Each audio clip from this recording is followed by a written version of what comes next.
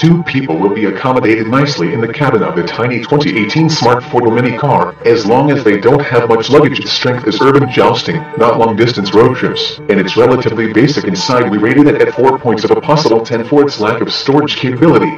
Other cars offer more flexible layouts by adding another 2 or 3 feet to their length, and it makes them far more versatile. The two seats are comfortable, although long-legged occupants may find the lower cushions a bit short.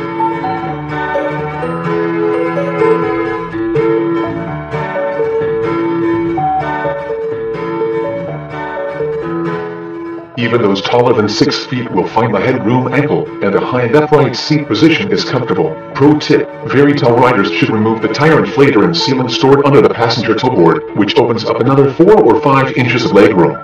Not surprisingly, outward visibility is good. The car ends about 2 feet behind the driver's shoulders for a car with such a short wheelbase. The Smart rides decently it soaks up most road irregularities and is surprisingly smooth and quiet on most surfaces.